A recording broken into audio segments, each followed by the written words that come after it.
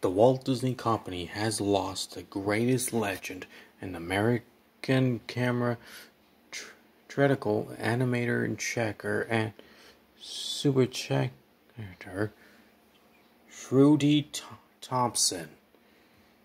She made uh, his famous notable work for Snow White and the Seven Dwarfs, Pinocchio, Fantasia, Dumbo, and Sleeping Beauty for example, even the Rescuers and and also the Lord of the Rings for as well.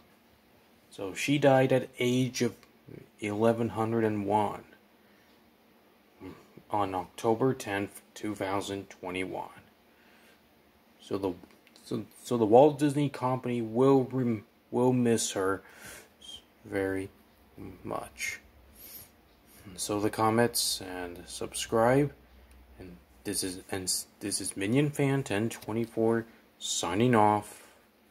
And rest in peace for Ruthie Tompson.